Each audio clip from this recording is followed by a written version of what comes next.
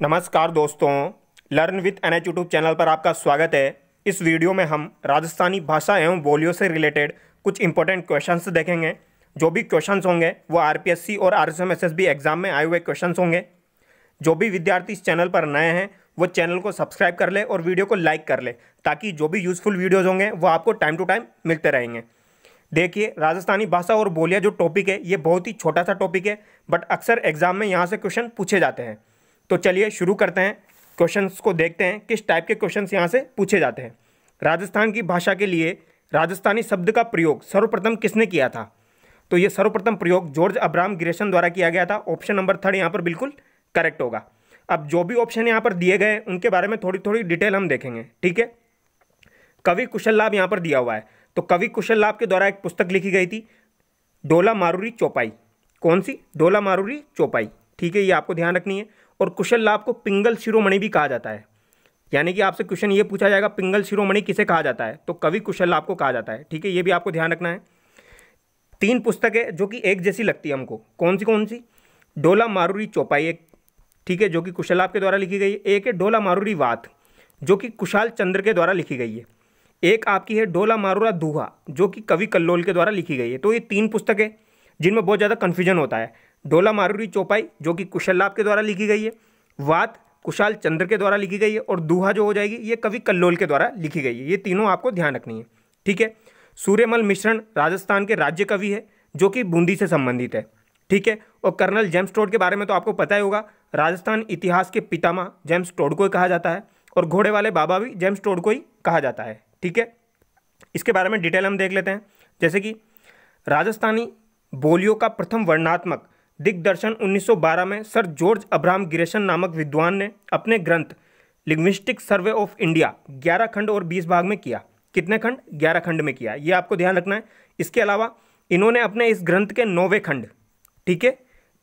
दूसरे भाग में सर्वप्रथम राजस्थानी का स्वतंत्र भाषा के रूप में वैज्ञानिक विश्लेषण प्रस्तुत किया। तो आपसे ये पूछा जा सकता है, लिंग्विस्टिक सर्वे ऑफ़ इंडिया जो पुस्तक है, इसके कितने खंड है? तो भैया ग्यारह खंड है। ठीक है, पहली बात तो आपको ये ध्यान रखनी है, कितने खंड है? ग्यारह खंड है। और नौवे खंड में राजस्थानी शब्द का इन्होंने प्रयोग किया था या राजस्थानी भाषा का स्वतंत्र वर्णन किया था। ठीक है? नेक्स्ट क्वेश्चन बोली व ज़िले सुमेलित करो। यहाँ पर बोलियाँ दी गई है और ज़िले दिए गए हैं। तो यहाँ पर सबसे पहले बोली है जगरोती बोली। तो जगरोती जो है, ये करौली में बोली जाती है। ए में आपका फोर हो जाएगा तो ये दो ऑप्शन तो आपके वैसे ही कैंसिल हो गए। ठीक है? ढाटी बोली जो है, ये बाड़मेर में बोली जाती है। नागर चोल चाल नहीं है, ये नागर चोल है, जो कि आपकी टोंक में बोली जाती है, जो कि ढूंढाड़ी की एक उपबोली है। धाउड़ी उदयपुर में बोली जाती है तो डी में आपका वन हो जाएगा, ठीक है? तो यहाँ पर ऑप्शन नंबर वन आपका बिल्कुल करेक्ट हो जाएगा। नेक्स्ट क्वेश्चन राठी व महेटा किस बोली की उपबोलियाँ हैं? तो राठी और महेटा के बारे में पूछा गया है। ऐसे क्वेश्चन अक्सर पूछे जाते हैं, ये किसकी उपबोली है या ये किसके द्वारा बोली जाती है, कौन से क्षेत्र में बोली जाती है, ये ज़्यादा पूछी जाती है, ठीक है? तो राठी और महेटा जो है, ये मेवाती की उपबोलियाँ है। ऑप्शन नंबर थर्ड यहाँ पर बिल्कुल करेक्ट होगा। ठीक है? मेवाती बोली जो है, ये चार जिलों में बोली जाती है। अलवर, भरतपुर, धौलपुर और करौली जिलों में प्रचलित है। ठीक है? इसमें स्पेशली आपको करौली ध्यान रखना है, क्योंकि इसमें कन्फ्यूज़न होता है। ठीक है? चरणदास और उनकी दो शिष्याएँ दयाबाई व सजोबाई द्वारा लिखित साहित्य इसी बोली में है। चरणदासी संप्रदाय के जो प्रवर्तक थे, वो चरणदास जी थे, जो कि मेवात से संबंधित है। तो ओबियसली दयाबाई और सजोबाई जो कि इनके शिष्य थे, उन्होंने जो भी पुस्तकें लिखी या जो भी साहित्य लिखा, वो किस बोली में होगा? वो मेवाती बोली में ही होगा। ठीक है? ये भी आपको ध्यान रखना है। इसकी प्रमुख उपबोलियाँ कौन कौन सी है? राठी, मेवाती की उपबोली है कठेर और महेटा। ये आपको ध्यान रखनी है। राठी, कठेर महेता अब इसको कैसे ध्यान रखोगे आप?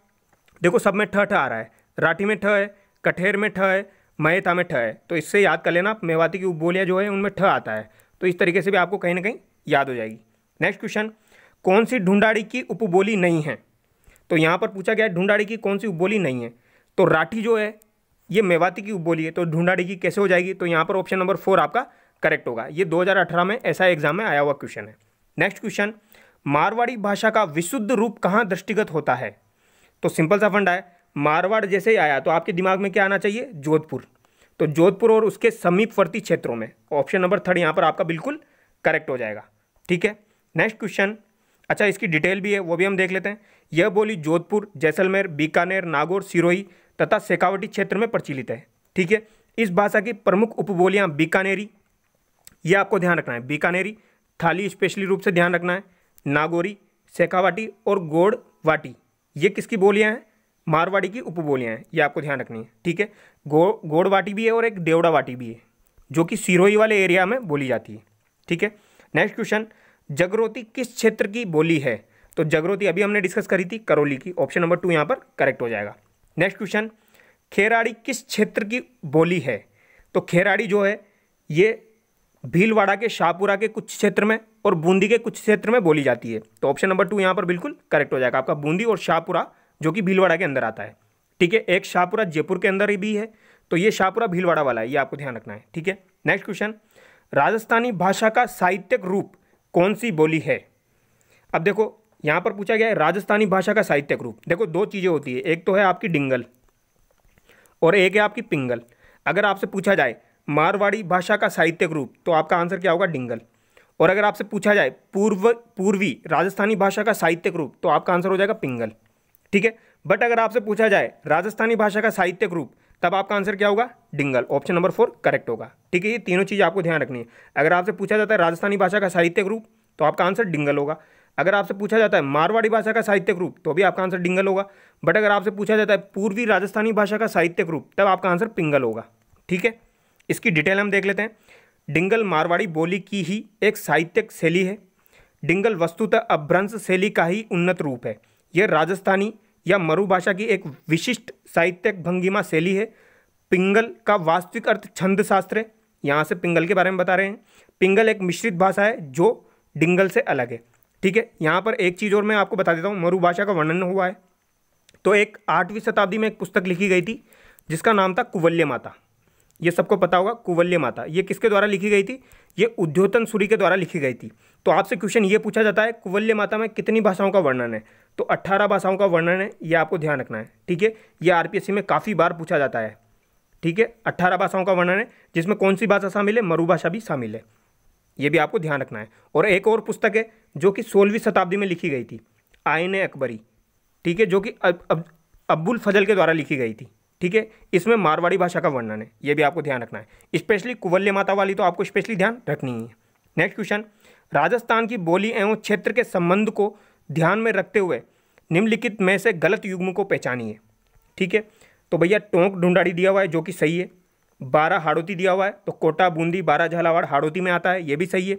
करौली, मेवाती दिया हुआ है, ये भी सही है, क्योंकि मैंने आपको बताया था मेवाती चार जिलों में स्पेशली बोली जाती है। अलवर, भरतपुर, धौलपुर और करौली।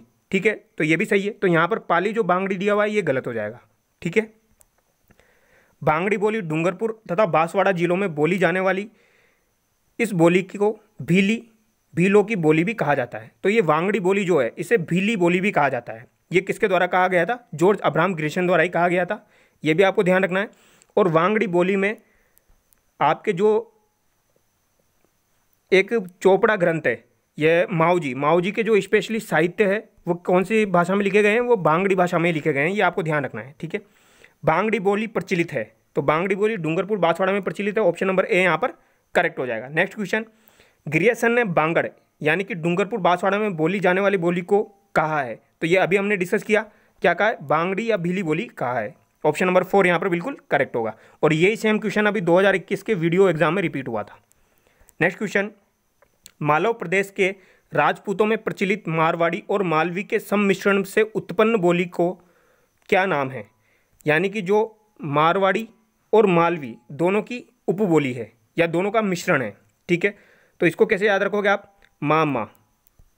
ठीक है? माँ से आपका मारवाड़ी, माँ से आपका मालवी। अगर इन दोनों का मिश्रण आपसे पूछा जाए तो इसका आंसर क्या हो जाएगा? रागड़ी। ये आपको ध्यान रखना है, ठीक है? यानी रागड़ी किससे संबंधित है? मामा से संबंधित है। तो माँ से मारवाड़ी, माँ से आपका हो जाएगा मालवी। ठीक है?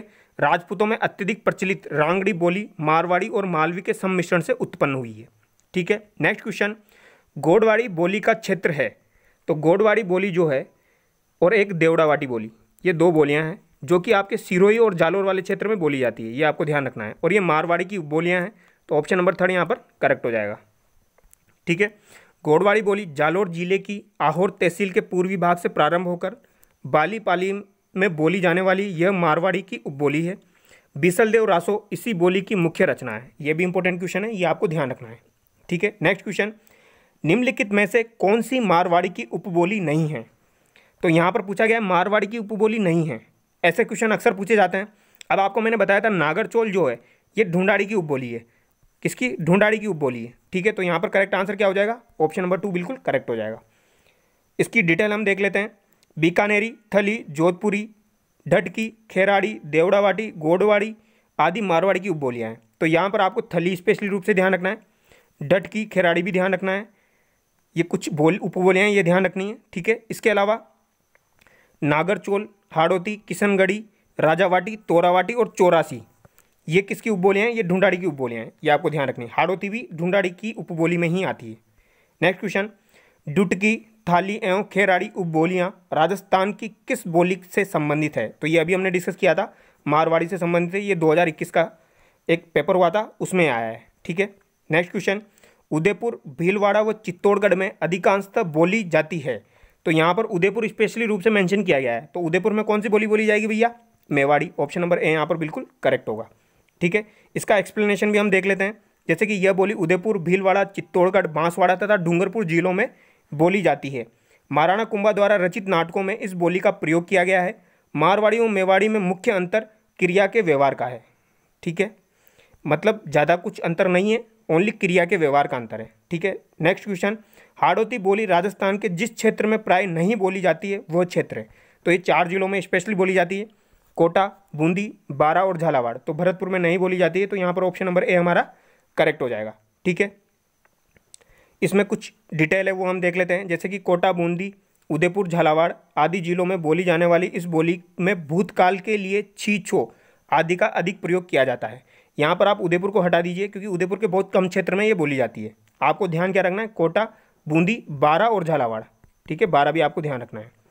छीचो आदि का अधिक प्रयोग किया जाता है। यानी कि यहाँ पर जो भी लोग भाषा का यूज़ करते हैं, हाड़ोती में, वो पीछे छी और छो लगाते हैं। जैसे, मुँह सु मल्यो छो। ऊन, डांस, करियो, छो। मतलब यहाँ पर छी और छो का प्रयोग किया जाता है। बूंदी के प्रसिद्ध कवि सूर्यमल मिश्रण के काव्य में हाड़ोती का प्रयोग देखा जा सकता है। क्योंकि सूर्यमल मिश्रण किससे संबंधित है? बूंदी से संबंधित है। तो ये हाड़ोती का प्रयोग यहाँ पर देखा जा सकता है। ठीक है, नेक्स्ट क्वेश्चन। दक्षिणी पूर्वी राजस्थान की बोली है। अब यहाँ पर पूछा गया दक्षिण पूर्वी राजस्थान तो ये राजस्थान है। अब यहाँ पर इस वाली एरिया की बात कर रहा है, दक्षिण पूर्वी राजस्थान। तो यहाँ पर कौन सी बोली बोली जाएगी भैया? यहाँ पर बोली जाएगी मालवी। ऑप्शन नंबर टू यहाँ पर बिल्कुल करेक्ट होगा, ठीक है? मालवी, कोटा, झालावाड़, चित्तौड़ आदि जिलों में बोली जाने वाली इस भाषा की उपबोलियाँ रतलामी, सोंदवाड़ी निमाड़ी है, ठीक है? इस बोली की कुछ विशेषताएँ मारवाड़ी व ढूंढाड़ी बोली में भी पाई जाती है। यहाँ पर एक इंपॉर्टेंट पॉइंट आपको ये ध्यान रखना है। निम्माड़ी बोली जो है, ये ध्यान रखनी है। निम्माड़ी को दक्षिणी राजस्थानी भी कहा जाता है। ये आपसे नेक्स्ट एग्ज़ाम में पक्का पूछा जा सकता है हंड्रेड वन परसेंट तो इसको ध्यान रखना है आपको। ठीक है? नेक्स्ट क्वेश्चन मुड़िया लिपि के अक्षरों के आविष्कारकर्ता किससे माना जाता है? तो मुंडिया लिपि जो है, ये अक्षरों के जो आविष्कार करता है, ये टोडरमल को माना जाता है। ऑप्शन नंबर ए यहाँ पर करेक्ट होगा। महाजनी लिपि अथवा वाणिया वाटी लिपि। में बिना मात्रा वाले महाजनी शब्द मोड़कर लिखे जाते हैं। तो जिन्हें मूडियाक्षर कहते हैं। ठीक है तो इन्हें मुड़िया क्यों कहते हैं? यह हमको पता लग गया। इसके अलावा ऐसा माना जाता है कि इन मुड़िया अक्षरों के आविष्कर्ता मुगल सम्राट अकबर के अर्थ सचिव राजा टोडरमल थे। राजा टोडरमल जो थे, वो अकबर के नवरत्नों में शामिल थे। तो ठीक है, यहाँ पर इसका क्या आंसर हो जाएगा? टोडरमल। ये आपको ध्यान रखना है। अगर मुडिया लिपि से रिलेटेड कोई क्वेश्चन आपसे पूछा जाता है तो टोडरमल उसका करेक्ट आंसर होगा। आई होप आपको वीडियो में मज़ा आया होगा, वीडियो आपको अच्छा लगा होगा। अगर आपको वीडियो अच्छा लगा है तो वीडियो को लाइक करें, चैनल को सब्सक्राइब करें। अगर हो सकता है तो शेयर भी करें। Thank you so much wish you all the very best next video में मिलते हैं।